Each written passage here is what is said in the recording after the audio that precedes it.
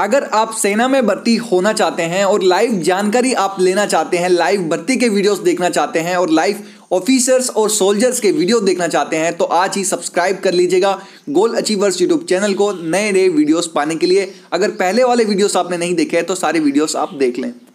सेना में भर्ती होने के सुनहरे मौके आ रहे हैं और कोई भी युवा इन मौक़ों को गंवाना नहीं चाहेगा। ऐसे में फॉर्म भरते समय कुछ बातों का ध्यान रखना होगा।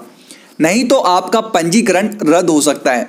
सेना के उच्च अधिकारी, विंग कमांडर के के यादव ने भर्ती के एक प्रेस कॉन्फ्रेंस में बताया कि उम्मीदवार केवल एक ही ट्रेड में आवेदन करे।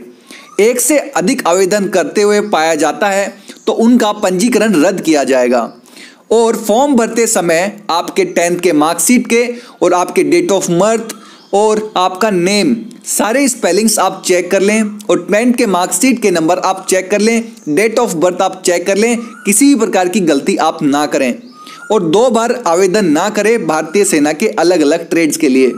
जैसे कि एग्ज़ाम्पल के तौर पे, कई युवा क्या करते हैं जीडी के लिए भी अप्लाई कर देते हैं और टेक्निकल के लिए भी अप्लाई कर देते हैं और उनका फॉर्म सबमिट हो जाता है। पर अगर ऐसे करते हुए आप पकड़ाए जाते हैं बायोमेट्रिक्स में तो आपको डायरेक्टली रिजेक्ट किया जाता है और आपका पंजीकरण रद्द किया जाता है। इसलिए आप किसी प्रकार की गलती ना करें, अगर आप भारतीय सेना में भर्ती होना चाहते हैं तो। अगर हमारे द्वारा दी गई जानकारी आपको अच्छी लगी हो तो लाइक सब्सक्राइब और शेयर ज़रूर कर दीजिएगा और किसी प्रकार की गलती आप ना करें, टेंथ की मार्कशीट में डेट ऑफ़ बर्थ में नेम में, और दो बार अप्लाई आप ना करें।